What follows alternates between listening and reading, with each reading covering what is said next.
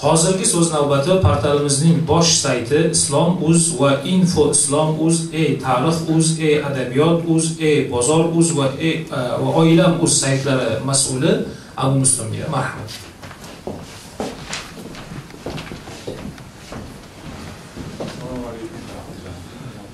Ikki ming uchinchi yili shayx muhammad sodiq muhammad yusuf hazratlarining tashabbusi bilan islomuz sayti ochilgan o'sha e, saytni o'n yillik faoliyati davomida saytga o'n mingga yaqin maqola kitob va multimedia ma'lumotlarini o'zida jam qilib ularni xalqqa taqdim qildi. Ya'ni yuzdan oshiq turli xil mavzulardagi kitoblar yuzdan oshiq video audio fayllar elektron dasturlar xususan android tizimida ishlaydigan uskunalar uchun turli xil programmalar tayyorlandi. Masalan turkiston o'lkasining har bir shaharining namoz vaqtlarini aniq ko'rsatib turuvchi va shunga o'xshash dasturlarni eslash kifoya. Islomuz portali xizmatlariga obuna bo'lgan a'zolarning umumiy soni yigirma ming kishidan oshib ketdi. Islomuz portalining ijtimoiy hayotidagi faoliyatlarni zikr qiladigan bo'lsak qirg'izistonda bo'lib o'tgan voqealarda shayx hazratlarining tashabbuslari bilan jabr ko'rgan dindoshlarimizga insonparvarlik yordam ko'rsatishiga o'ziga yarasha hissa qo'shdi. Yana yetimxonalarga borib yetimlarning boshlarini silab turdi. Onkologiya markazida bemorlar ko'nglini so'radi va shunga o'xshash va bu yerda aytilishi shart bo'lmagan juda ko'p xayriya ishlarida ishtirok etib turibdi. 2009 yildan beri islom uz portaliga kiruvchi saytlar uz milliy domin internet festivallarida faol ishtirok etib keladi. Xususan islom tarix adabiyot tibbiyotga oid saytlarimiz uznet sarhadlarida o'z yo'nalishlari bo'yicha peshvo saytlarga aylandi va munosib taqdirlanib kelinmoqda. Islom uz portali 2013 yili xalqaro axborot texnologiyalar ko'rgazmasida ishtirok etdi. Kuzatuvchilarning aytishiga ko'ra islomuz portalining ko'rgazmadagi ishtirokini jamoatchilik juda iliq va katta qiziqish bilan kutib olgan. Ko'plar juda xursand bo'lishdi. Islomuz portali o'z faoliyati davomida o'ndan oshiq tanlov o'tkazdi. Ushbu tanlovlarga esa minglab yurtdoshlarimiz o'z ijod mahsullari bilan ishtirok etib yozgan asarlarini xalqqa beminnat taqdim qila olish imkoniyatiga ega bo'lishdi.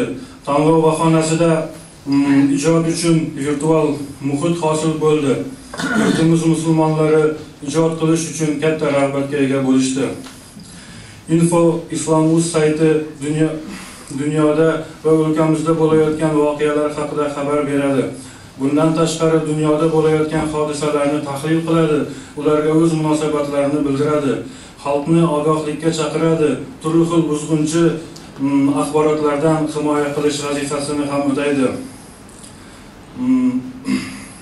shayx hazratlarining ijtimoiy hayotidagi faoliyatlarini yoritadi va turli xil o'ziga xos mavzularda turli xil qiziqarli ma'lumotlar berib borishga ham harakat qiladi. Bu saytimiz ramazon oyi oldin yangilandi va shu yangilanganidan beri saytimizga 700 ga yaqin xabar va maqolalar joylandi. E tarix uz saytimiz ham uznet dunyosida eng nodir sayt deb ta'rif bersak mubolag'a qilmagan bo'lamiz. O'zbekistonda tom ma'noda tarixga bag'ishlangan ona tilimizda bundan boshqa sayt yo'q. Saytimizda turli xil qiziqarli maqolalar bilan birga o'tmishda bobolarimiz bitib ketgan tarixga oid manbalar kitoblarni ham elektron shaklga aylantirib ularni keng omma omma hukmlarga havola qildik. Xususan mirzo ulug'bekning to'rt ulus tarixi hazrati alisher navoiyning tarixiy mulki ajam tarixiy anbiyo va hukomo kabi kitoblari bobur shohning boburnomasi ibn batuttaning sayohatnomasi amir temurning temur tuzuklari va yana tarixiy roshidiy narshahiyning samariya va shu kabi boshqa millatimizning bebaho durdona asarlari saytimiz to'ridan xalqimiz qalbiga yo'l oldi.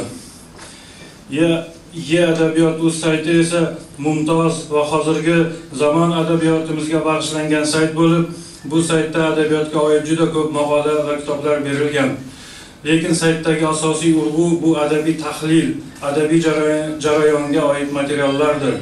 Ye adabiyot uz saytida adabiyotga oid ensiklopediya ham ishlab turibdi. Shuning bilan birga navoiyxonlik ruknimiz bo'lib bu rukunda hazrati navoiyning asarlari sharhi bilan berib kelinmoqda. Saytimizda mumtoz adabiyot vakillarining asarlarini mohir suxandonga o'qitib ularni audio shaklda xalqqa taqdim qilish ishlari ham boshlangan.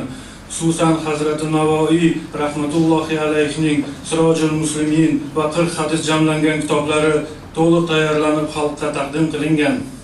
Bundan tashqari so'fi allohyorning shoh asari ham audio shaklda to'liq tayyorlandi va saytga qo'yildi. Ayni vaqtda boshqa adiblarimizning asarlarini tayyorlash borasida ishlar qizg'in blogosfera islomuz portalida faoliyat yuritayotgan ijodkorlarimiz uchun maxsus xizmat bo'lib unda sizlar o'sha mualliflarning ijodlari bilan bevosita tanishish imkonlaringiz bo'ladi va istagan muallifingizga ijodi bo'yicha savol berishingiz u bilan muloqot qilishingiz mumkin. Rahmat.